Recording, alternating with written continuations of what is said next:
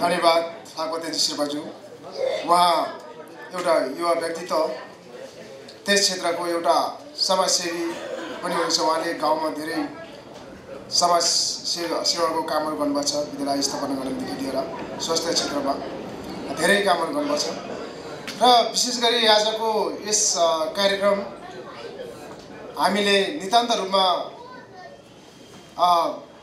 स्वतन्त्र ढङ्गले र गैर राजनीतिक ढङ्गले गर्न खोजेको कार्यक्रम हो। तपाईँहरूलाई म आयोजकको तर्फबाट भन्नु पर्दाखेरि र कुरा गर्दै जाँदा हाम्रो यहाँ केही बोर्ड सम्बन्धी अथवा राजनैतिक सम्बन्धी कुराहरू पनि उठ्यो। त्यो पनि एउटा सम्बन्धित विषय भएकोले ठिकै अ, कार्यक्रमसँग राजनीतिक इस्यु राखिसकेपछि त्यो पनि आउनु राजनीतिक परिवेशमा हाम्रो भूमिका भने एउटा राजनीतिक शब्द राखेकोले त्यो पनि त्यो कुराहरू आउनु स्वाभाविकै हो। तर पनि म आयोजकको तर्फबाट के भन्न चाहन्छु भने विशेष गरी हामीले यो चाहिँ एउटा राजनैतिक रूपमा नभएर एउटा हामीले चाहिँ वर्तमान राजनीतिक परिवेशमा हाम्रो भूमिका के हुनु सक्छ भनेर एउटा राजनीतिक इस्युलाई लिएर त्यस विषयमा छलफल गर्न खोजेको विशेष गरी भन्नुपर्दाखेरि अहिले हाम्रो आजका प्रमुख अतिथि श्री सनाम सिंह शेर्पाजी पनि कुनै पनि अहिले त राजनीतिक दलसँग अहिलेसम्म त हुनुहुन्न भन्दा पनि कुनै त्यस्तो अनुव्यक्त नहोला। र म उहाँ तपाईँहरूलाई म स्पष्ट गर्न चाहन्छु। र भविष्यमा आज हाम्रो यहाँ उपस्थित युवा साथीहरू सम्पूर्ण साथीहरूको के जिज्ञासा देखियो भने अब भविष्यमा उहाँको इच्छा र भविष्यमा अब उहाँको के रणनीति छ भन्ने बारे उहाँहरूले चाहिँ त्यसबारेमा केही प्रश्न पार्नुहुन्छ कि भन्ने एउटा कुरा अगाडि उठाएको मैले सुनेको छु। र अब यसै क्रममा म हाम्रो आजको औपचारिक कार्यक्रमलाई निरन्तर दिने निरन्तरता दिने क्रममा म आज यस कार्यक्रममा हाम्रा आजका प्रमुख अतिथि समाजसेवी एवं वरिष्ठ राजनीतिज्ञ श्री सोनाम सिंह शेर्पालाई हामी यहाँ भएका शेर्पाहरूको तर्फबाट युवा शेर्पा साथीहरूको तर्फबाट एउटा उहाँले राजनीतिक क्षेत्र र समाजसेवाको क्षेत्रमा पुर्याउनु भएको योगदान अतुलनीय उहाँलाई यसलाई हामीले व्याख्या गरेर तपाईँ हामीले यसलाई एकदम अतुलनीय अब कस्तो भने अब त्यसलाई तुलना गरेरै नसकिने खालको एउटा उहाँको योगदान हाम्रो समाज हाम्रो शिल्प समाज र देशको राजनीतिक क्षेत्रमा उहाँको योगदान रहेको छ।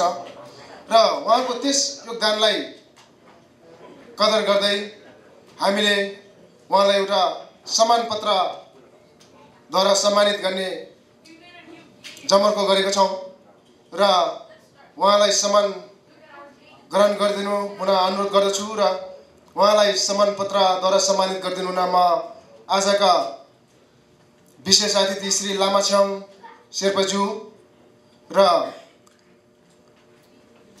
प्रमुख विशेष अतिथि श्री लामा टुलको उर्गेन क्षेत्र रिम्बुजेज्यूलाई म हार्दिक अनुरोध गर्दछु।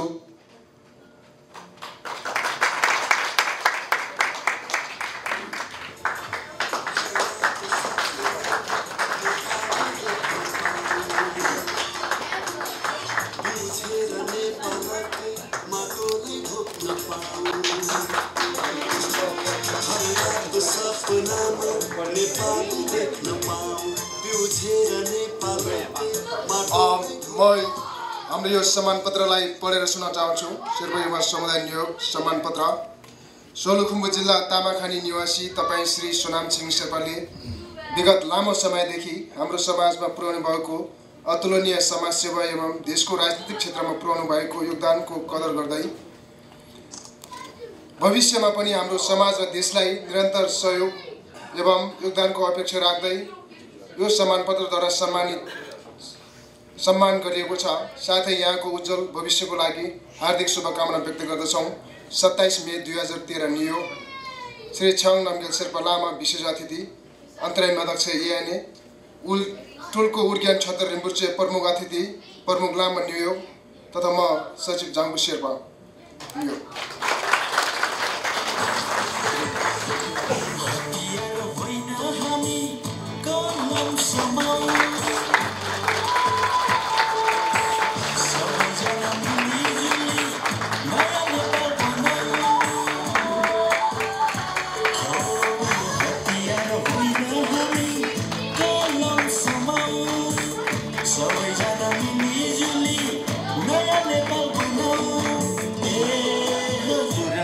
न्युयोग बुद्धलाई सोधौँ हो गौतम बुद्धलाई सोधौँ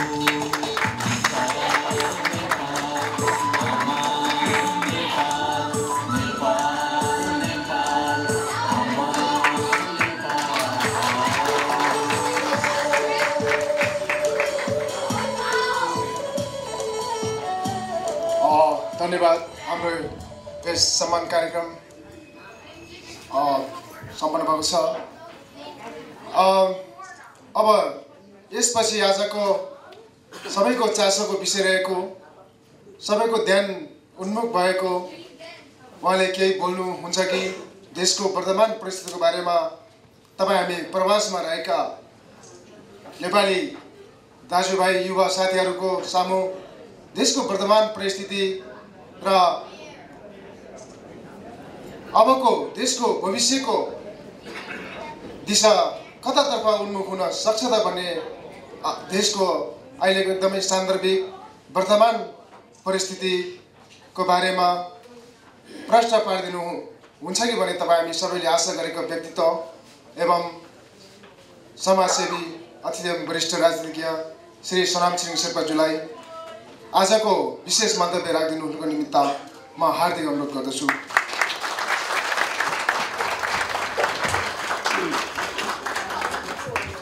प्रसिद्धले पिन्सुम्सो यस कार्यक्रमका अध्यक्ष छाङ लामाज्यू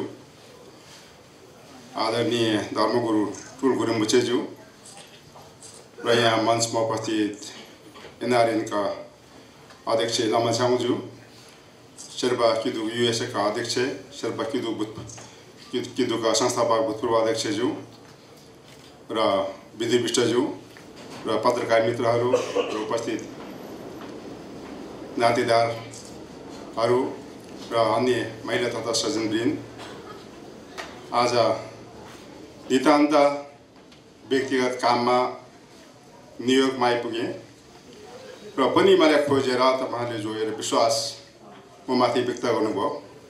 त्यो ज्यादै मेरो मेरो चाहिँ व्यक्तिगत जीवनमा एउटा ठुलो उपलब्धि मानेको छु। मैले समाजको लागि धेरै कुरा दिन सके सकेन। त्यो मलाई थाहा छैन तर पनि मैले आफ्नो क्षमताबाट आफ्नो लेभलबाट जे जति गर्न सक्ने कामहरू थियो कोसिस मैले गरिरहेको थिएँ र गरियो पनि। कतिपय सफल भयो कतिपय असफल भयो। तर त्यसले एउटा परिणाम अहिले देखाएको हुनाले साथीहरूको दिमागमा साथीहरूको मन मस्तिष्कमा मेरो एउटा भावना मेरो प्रयासलाई कदर गर्ने जुन किसिमको तपाईँहरूको उदारता मेरो प्रयासभन्दा पनि तपाईँहरूको उदारता तपाईँहरूको महानता मैले सम्झेको छु। र यो अवस्थामा गहन विषय यहाँ अन्तर्क्रियामा राखेको छ। र त्यसमा पनि तपाईँहरूले मलाई धेरै ठुलो अपेक्षा गरेको मैले पाएको छु। म अहिले वर्तमान अवस्थामा म कुनै राजनीतिक दलसँग आबद्ध छैन। यो मुलुकको राजनीतिमा धेरै उतार चढाव आएको छ। त्यो हरेक उतार चढावमा मेरो केही न केही कुनै न कुनै कोणबाट भूमिका त थियो। तर पनि अहिलेको जुन राजनीतिक परिस्थिति छ यो परिस्थिति एकदमै ज्यादै भयावह हुन्छ यो सम्हालेर सम्हाल्न नसक्ने अवस्था हुन्छ। देश भयङ्कर दुर्घटनामा फस्न सक्छ र यो संविधान सभालाई संविधान बनाउँदैन भन्ने मैले पहिले नै पूर्वानुभूति गरेर मैले संविधान सभाको चुनावमा कुनै के अरे सक्रिय भूमिका नै निर्वाह गरिनँ। त्यसैले मेरो राजनीतिक विश्लेषण के हदसम्म सठिक थियो के हदसम्म ठिकै थियो त्यस अनुसार संविधान सभाले आफूले दुई वर्षको लागि जनताबाट म्यान्डेट माग्यो चुन्यो तर उहाँहरूले त्योभन्दा पनि बढी खानुभयो। दुई वर्षबाट बढी खाएर चार वर्ष भुक्तान भएपछि उहाँहरू आफैले हामी संविधान सभाबाट संविधान बनाउन सक्दैनौँ र हामी यसको लागि असफल छौँ। हामी एक प्रकारको नालायक भयौँ भनेर त्यो संविधान सभा उहाँहरू आफैले विघटन गर्नुभयो। तर अब मुलुक कता जान्छ? मुलुकको राजनीतिक परिस्थिति के हुन्छ? यसले कस्तो निकास दिन्छ? भन्ने कुराको जिज्ञासा नेपालमा होइन। नेपालबाट धेरै टाढा अमेरिकामा बस्नुभएका तपाईँ प्रबुद्ध साथीहरूले जो जिज्ञासा राख्नुपर्छ जो चासो राख्नुपर्छ त्यो निश्चित रूपमा मैले के अनुभूति गरेको छ भने तपाईँहरू न्युयोर्कमा राम्रो कमाइमा राम्रो जीवन बिताइरहँदा पनि पाहाडको डाँडा काँडाले तपाईँको सुसेली गरिरहेका छन् खोला नालाले तपाईँले बोलाइरहेका छन्। तपाईँको मन मस्तिष्कमा त्यहाँको छाप अझै पनि छ। र त्यसरी तपाईँलाई त्यहाँको जुन एउटा दुःख छ पर- परिस्थिति छ त्यहाँको एउटा सम्झना छ त्यो सम्झनाले तपाईँलाई तपाईँको अन्तरात्मा अन्तरात्मालाई घचघचिरहेको मैले अनुभूति गरेको छु। निश्चित रूपमा नभए यो सुख शैलमा यहाँको जुन एउटा विशाल भूमि छ यो संसारभरिका मान्छे आएर बस्ने ठाउँमा तपाईँहरूले सबले बिर्सिनुपर्ने थियो। तर पनि तपाईँहरूले आफ्नो मातृभूमिप्रति आफ्नो क्षेत्रप्रति आफ्नो जनताप्रति आफ्नो भाषाप्रति आफ्नो देश र जनताप्रति जुन किसिमको चाहिँ एउटा माया देखाउनु भयो। त्यो ज्यादै ठुलो उपलब्धि मैले धेरै ठुलो कुरा सम्झेको छु। अघि यहाँ भन्नुभयो कि जननी जन्मभूमि छ भनेर कि अब यो मुलुकमा दुईवटा कुरा सबैभन्दा ठुलो कुरा हुन्छ भन्छ।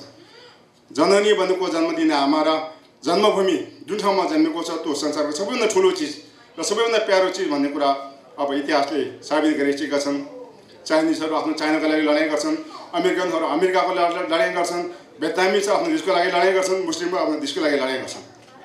तर हामीले पनि एउटा आफ्नो फिलिङ जिउँदै छन्। त्यो जिउँदै फिलिङले अझ सशक्त होस् तपाईँहरूको भावना अझ माथि जाओस् तपाईँहरू चाहिँ एउटा सक्रिय होस् यसमा मेरो शुभकामना छ। र अब जहाँ यो अन्तर्क्रियाको विषय छ यसको अन्तर्क्रियाको दुईवटा पाठ मैले सम्झेको छु। पहिलो पाठमा मुलुकको राजनीतिक परिस्थिति। त्यो राजनीतिक परिस्थितिमा हाम्रो भूमिका भन्ने किसिम- किसिमको दोस्रोमा छ। म पहिलो पक्षमा तपाईँहरूले निवे- निवेदन गर्न चाहन्छु तपाईँहरूलाई म आग्रह गर्न चाहन्छु कि मुलुकको राजनीतिक परिस्थिति ज्यादै सङ्कटपूर्ण छ द्वन्द्वपूर्ण छ र यो परिस्थितिले कहाँ गएर ल्यान्डिङ गर्छ? यो चाहिँ कस्तो खालको विस्फोटक परिस्थिति ल्याउँछ?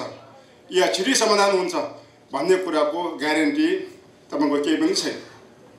त्यसको लागि हामीले खोज्दाखेरि पानीको मुहान हेर्नुपर्छ। मुहानबाट के निस्किएको छ भने जस्तै राजनीतिको पनि मूल हेर्नुपर्छ। राजनीतिको मूल भनेको पार्टीहरूको सोच पार्टीहरूको चाहिँ पार्टीहरूले कन्ट्रोल गर्ने शक्ति केन्द्रहरू रिमोट। कोही चाइनाले कन्ट्रोल गर्छ कोही इन्डियाले कन्ट्रोल गरेका छन् कोही भुइँफुट्टा छन्। त्यस्तो अवस्थामा ती पार्टीहरूले कस्तो खालको नीति अप्नाउँछन् त? कस्तो नीति अप्नाएर यिनीहरू द्वन्द्वमा फँसेका छन् भन्ने कुराको सिलसिलामा यसको केही ब्याकग्राउन्डमा म आउन चाहन्छु। बहुदल व्यवस्थामा छत्तिस सालको के अरे आन्दोलनले एउटा पञ्चायतको विघटन भए तापनि अनि छयालिस सालको आन्दोलनले फेरि एउटा ठुलो एउटा ऊ आयो। त्यसपछि गएर त्रिसठी चौसठीको आन्दोलनले राजतन्त्र समाप्त पार्यो।